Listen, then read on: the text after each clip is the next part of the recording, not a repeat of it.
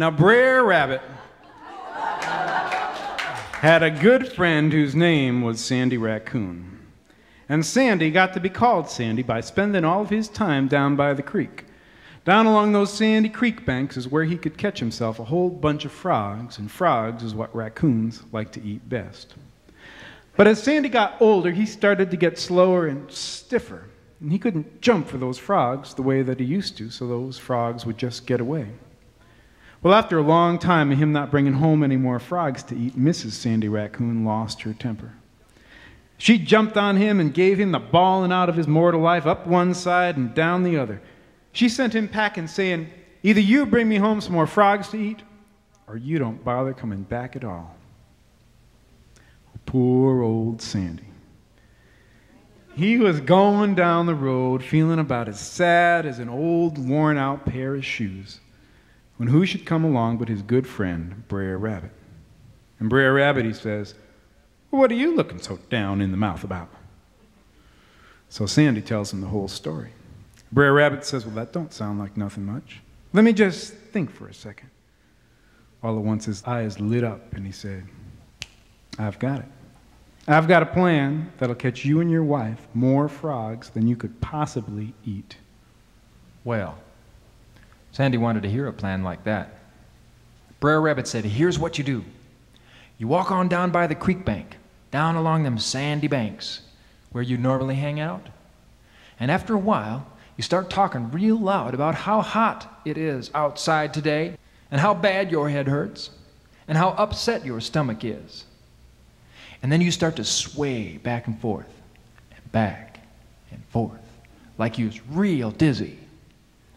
And then you just fall over right in the sand and don't move a muscle. Don't let your leg flick.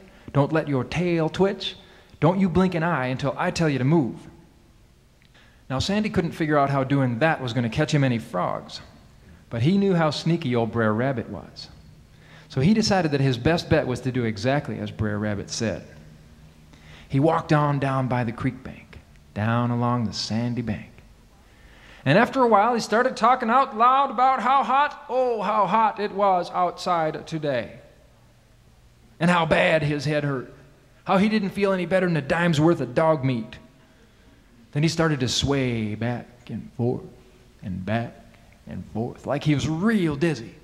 And then he fell over in the sand. He didn't move a muscle. He didn't let his leg flick. He didn't let his tail twitch. He didn't blink an eye. He lay there a long time. It got to be 12:30, it got to be 1, it got to be 1:30, and it was hot. And he got real thirsty. That water was about 3 feet away. He didn't move. It got to be 2, it got to be 2:30, it got to be 3. Mosquito landed on his nose for tea. Went and brought back his friends. Got to be 3:30, got to be 4. Sandy was feeling like a real fool. He was figuring that Brer Rabbit must be playing a joke on him, and Brer Rabbit and all his friends must be off laughing someplace. And here's somebody coming down the road. And all at once he hears this cry, it makes him almost jump out of his skin, except his whole body's asleep. He can't move anyways. It's Brer Rabbit. Brer Rabbit's going, Poor old Sandy's dead. Poor old Sandy's gone and died today for sure. And all along the creek bank, all the little frog heads started popping up, saying, Is he dead? Is he dead? Is he dead? Is he dead?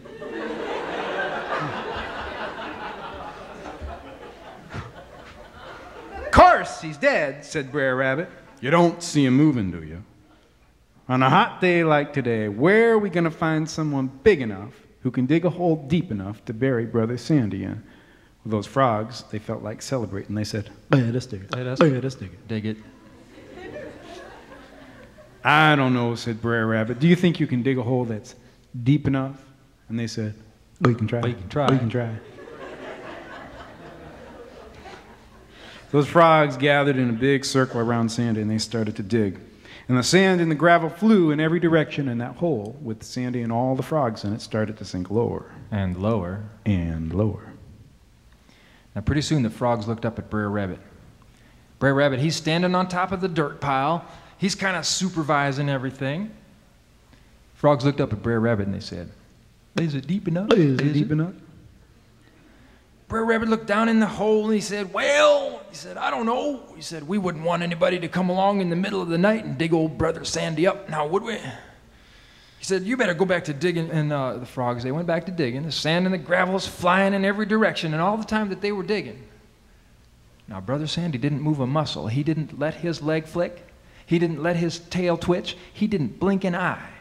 And that hole with Brother Sandy and all those frogs in it just kept on sinking lower And lower. and lower. Well, after a while, those frogs looked up at Brer Rabbit again. They said, Is it deep enough? Is it, Is it deep enough? is it deep enough? Well, I don't know, said Brer Rabbit. He kind of walked down off the pile, walked around the hole, said, hmm, dangled his foot over the edge, and he said, You think you can jump up that high? And those frogs said, I think we can. I think we can. I think we can.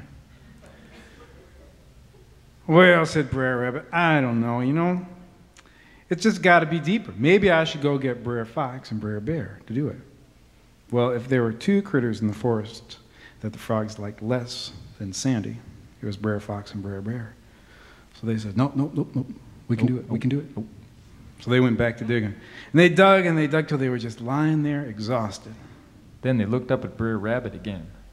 Now, Brer Rabbit, he's standing on top of the dirt pile. He's kind of supervising everything. Frogs looked up at Brer Rabbit and they say, Is it deep enough? Is it? it? Brer Rabbit looked down in the hole and he said, Well, he said, I don't know. He said, You think you can jump out?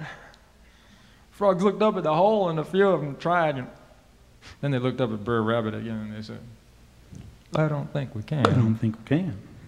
Brer Rabbit said, Well, in that case, it's deep enough. Brother Sandy, rise up and catch your frogs. And ladies and gentlemen, with all those frogs just trapped in the bottom of the hole, that's exactly what Brother Sandy went and did.